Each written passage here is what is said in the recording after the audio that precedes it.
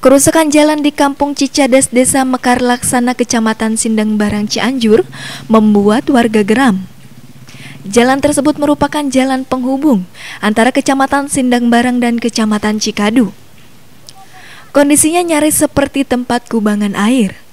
Kondisi jalan rusak berusia 50 tahunan hingga saat ini belum juga diperbaiki. Pada saat hujan turun, kondisi jalan menjadi licin dan becek sehingga menyulitkan warga untuk melintas.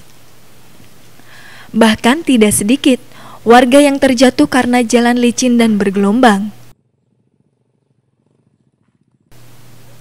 Tokoh masyarakat Kampung Cicadas Fahmi mengatakan kondisi jalan sungguh memprihatinkan.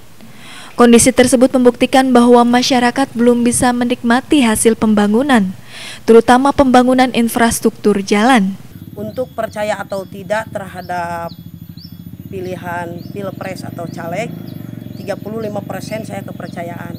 Karena dari lahir kami di kampung ini dari lahir kami di kampung ini eh, janji-janji caleg kepala desa eh, bupati gubernur dan presiden belum ada realisasinya. Lihat kami bicara fakta ya. Kami bicara fakta ini jalan seperti ini. Ini udah bertahun-tahun nih jalan ini.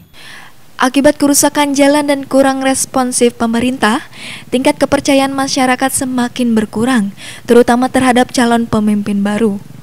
Pasalnya, dari pemerintah desa hingga pemerintah pusat, tidak ada yang peduli atas pembangunan jalan tersebut. Warga desa Mekar Laksana mengancam tidak akan memilih calon pemimpin pada pemilu 2019. Heri Setiawan, Bandung TV.